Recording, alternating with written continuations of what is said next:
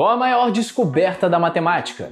É uma questão de gosto, mas hoje nós vamos falar sobre uma das mais úteis, de verdade. Nós vamos falar sobre a matemática do amor. Certamente você já ouviu alguém se vangloriando por aí porque completou mais um dia sem precisar do teorema de Pitágoras para nada. Só que essa pessoa nem imagina que a matemática pode nos ajudar com uma das questões mais importantes da nossa existência, uma das poucas coisas que nos atormenta mais até do que a própria matemática. Ela pode nos ajudar a encontrar o nosso grande amor. Quem diria? A nossa natureza monogâmica, pelo menos na maioria de nós, coloca um problema fundamental nas nossas vidas. Se o sonho de todos nós é passar o resto da nossa existência com a pessoa certa, com a alma gêmea, o que nós podemos fazer para aumentar ao máximo as chances de isso acontecer? E como que a matemática pode ajudar numa coisa dessas? Para pensar matematicamente, vamos colocar algumas hipóteses sobre o jogo do amor. Vamos começar de forma bem simples. A ideia central é que você pode se relacionar com uma certa quantidade de pessoas diferentes, uma por vez, e deve escolher uma delas para se casar. Pense numa fila de pretendentes. Quando você está saindo com uma dessas pessoas, pode levar a relação para um nível mais sério pedindo a pessoa em casamento ou pode dispensá-la e partir para a próxima. Mas tem dois detalhes. Primeiro, vamos assumir que você seja uma criatura encantadora e que ninguém possa resistir ao seu pedido de casamento. Segundo, se você termina uma relação e parte para a próxima, a pessoa que ficou para trás está perdida para sempre. Você nunca mais poderá se relacionar com ela. Com essas hipóteses, o seu objetivo é casar com a melhor pessoa dentre todas as disponíveis. É ficar com a pessoa certa, a alma gêmea. E aí, já dá para ver que temos um problema. Como você sabe que encontrou a melhor pessoa e é a hora de fazer o pedido? E se houver outra melhor depois? Ou pior, se você dispensa essa pessoa na esperança de encontrar alguém melhor depois e isso acaba não acontecendo. Lembra que você não pode voltar para trás. E assim, o seu grande amor estará perdido para sempre. Como fazer então? Em primeiro lugar, como você quer casar com a melhor pessoa e o seu pedido jamais é rejeitado, então você não deve nem pensar em casar com alguém que não seja a melhor pessoa que você tenha visto até então. No entanto, ser apenas a melhor até agora não é o bastante para fazer um pedido de casamento. A primeira pessoa será sempre a melhor até então, por definição. Por outro lado, é esperado que a taxa na qual encontramos candidatas melhor até agora vá diminuindo à medida em que seguimos os nossos encontros. Por exemplo, a segunda pessoa tem 50% de chance de ser a melhor vista até então, mas a quinta tem um quinto de chances, a sexta tem um sexto e etc. Portanto, a melhor candidata até agora vai ficando cada vez mais impressionante conforme a busca se estende. Afinal, por definição, ela é melhor do que todas as vistas até então. Porém, vai ficando cada vez mais raro encontrar alguém assim à medida em que você conhece mais e mais pessoas. E a partir de um ponto, pode ser que você nunca mais encontre alguém melhor. É preciso então achar um ponto de equilíbrio. A melhor solução desse problema é parecida com a regra de ouro do consumidor. Primeiro pesquise, depois escolha você define um tempo pré-determinado para avaliar, ou seja, explorar as suas opções, obter dados, pesquisar. Durante esse tempo, você deliberadamente não escolhe ninguém, por mais que a pessoa te impressione. Você está apenas formando uma base de dados para conseguir julgar no futuro quando uma relação é realmente boa e vale a pena casar. Após esse ponto, você entra na fase de escolher preparando para imediatamente se comprometer com a primeira pessoa que seja melhor do que todas aquelas que você viu na fase de pesquisa.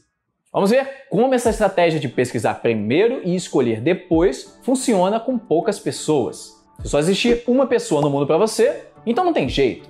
Ela é a melhor pessoa por definição. Porém, se houver duas pessoas, você tem um dilema: casar com a primeira ou dispensá-la e casar com a segunda você tem 50% de chances de ficar com a melhor pessoa nesse caso, independentemente da sua estratégia. As coisas começam a ficar interessantes quando você tem três candidatas. Escolher ao acaso te dá 33% de chance de ficar com a melhor. Com duas candidatas, não podíamos fazer melhor do que o acaso, mas com três, nós podemos.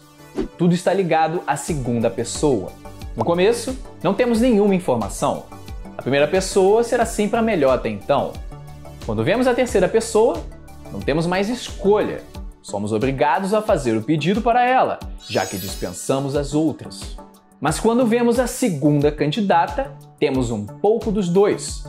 Sabemos se ela é melhor ou pior do que a primeira e temos a liberdade de pedi-la em casamento ou dispensá-la. O que acontece se casarmos com ela, caso ela seja melhor que a primeira pessoa, ou se a dispensarmos, caso ela seja pior? Matematicamente, essa é a melhor estratégia possível com três candidatas a amor da sua vida. E ela nos dá uma chance de 50% de sucesso. A abordagem que maximiza as suas chances de sucesso é determinar um ponto de virada onde você deixa de pesquisar e passa a realmente escolher, casando-se com a primeira pessoa que aparecer a partir desse ponto e que seja melhor do que todas as outras que você conheceu antes na fase de pesquisa. Esse tipo de problema é o que os matemáticos chamam de um problema de parada ótima, já que você deve escolher quando parar de pesquisar para passar a escolher. O importante é determinar o melhor ponto de parada possível. Existem duas formas de falhar nesse tipo de problema: parar cedo demais ou parar tarde demais. Parando cedo, você deixa a melhor candidata sem ser descoberta. Ao parar tarde, você espera por uma candidata melhor que não existe. O seu grande amor já ficou para trás. A estratégia ótima requer encontrar o balanço perfeito entre os dois riscos ficando no limite entre pesquisar de mais ou de menos. E afinal, qual é a solução desse problema? É praticamente uma regra de bolso, bastante simples. A resposta está na regra dos 37%. Para aumentar as suas chances de sucesso de conseguir casar com a melhor pessoa possível, você deve gastar 37% do seu tempo na fase de pesquisa e depois disso, escolher a primeira candidata que seja melhor do que todas as anteriores. Por exemplo, se você planeja dedicar dos 18 até no máximo os 40 anos de idade na busca pelo grande amor, a regra dos 37% diz que você deve ficar na fase de pesquisa, saindo com pessoas sem compromisso apenas para formar a sua base de dados até os seus 26 anos. A partir daí, Case-se com a primeira pessoa que seja melhor do que todas as anteriores. E de onde vem esses 37%? À medida que o número de candidatas cresce, a probabilidade de ter sucesso na sua escolha ficando com a melhor pessoa dentre todas é dada aproximadamente pela função x vezes o logaritmo de 1 sobre x, onde x é o ponto de parada, o momento a partir do qual você passa de pesquisar a escolher. Se você conhece um pouco de cálculo, sabe que derivando essa função, você descobre que o ponto de parada ótimo ocorre quando x é igual a 1 sobre e. Esse e é o número de Euler. Isso dá aproximadamente 37%. O mais curioso é que 37% são também as suas chances de sucesso ao seguir essa estratégia. Mas peraí, quer dizer que tudo isso foi para dizer que a melhor estratégia possível te dá uma chance de apenas 37% de ficar com seu grande amor? A vida é mesmo difícil. Mas vamos pensar por outro lado. Se houvesse 100 candidatas possíveis, escolher uma delas ao acaso nos daria uma chance de apenas 1% de ficar com a pessoa certa. Nesse caso, a nossa estratégia ótima de 37% de chances de sucesso já não parece tão ruim assim. Ok, sabendo da estratégia ótima, você vai de peito aberto encarar o mundo. Você está com 18 anos e pretende ficar nessa busca até no máximo os 35. Pela regra dos 37%, você deve rejeitar todo mundo até os seus 24 anos de idade, e a partir daí, você faz o pedido de casamento para a primeira pessoa que aparecer e que seja melhor do que todas as anteriores. Imagine que lá pelos seus 28 anos isso finalmente acontece. Você encontra a melhor pessoa que já viu em toda a sua vida. Tudo está de acordo com a matemática e com o seu coração. É hora de fazer o pedido para a sua alma gêmea. Você pede e ela diz não. Esse é um problema possível de acontecer quando tentamos colocar em prática a nossa teoria. No modelo matemático original, não havia a possibilidade de rejeição. Na vida real, ela existe. Outra questão que também pode ocorrer é a segunda chance, o famoso remember. Num problema original, você não pode voltar atrás após dispensar uma pessoa. Na vida real, porém, isso é bem possível. A possibilidade de rejeição e a segunda chance modificam o problema original e a estratégia ótima. Os números mudam, mas o princípio de pesquisar primeiro e escolher depois permanece. Por exemplo, se você tem 50% de chances de ter um pedido de casamento recusado, então a melhor estratégia é começar a fazer pedidos após as primeiras 25% pessoas. A sua chance de sucesso será também de 25%. Quando existe a possibilidade de uma segunda chance, admitindo que uma proposta de casamento imediata seja sempre aceita, mas uma proposta tardia seja rejeitada metade das vezes, a matemática diz que você deve continuar sem compromisso até ter visto 61% das pessoas. E então, apenas propor o casamento se alguém nos 39% restantes for a melhor pessoa até então. Se você continuar sem par após considerar todas as possibilidades, volte naquela pessoa que você mais gostou e faça o pedido. Mais uma vez, temos simetria e as chances de sucesso são também de 61%. As chances também podem melhorar se formos menos exigentes. Até aqui, o objetivo foi ficar com a melhor pessoa possível, mas na maioria dos casos, as pessoas preferem ter um par apenas bom ao invés de ficarem sozinhas se a tal pessoa certa não estiver disponível. Portanto, e se ao invés de mirarmos de forma certeira apenas na pessoa certa, a gente fique satisfeito em ficar com alguém que esteja entre as 5% melhores opções? Ou mesmo entre os 15% melhores cônjuges em potencial?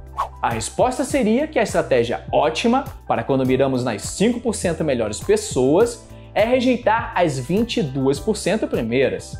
Isso nos dá uma chance de sucesso de 57%. Ao nos contentarmos em encontrar qualquer pessoa que esteja entre as 15% melhores, devemos rejeitar até os 19%.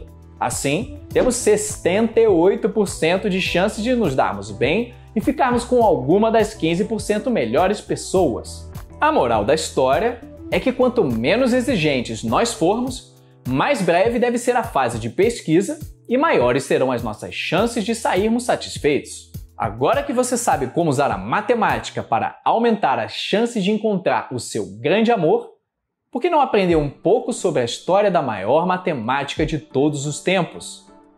E esse é o assunto desse vídeo aqui do lado, onde eu conto para vocês a vida e a obra de Amy Nether, uma mulher incrível.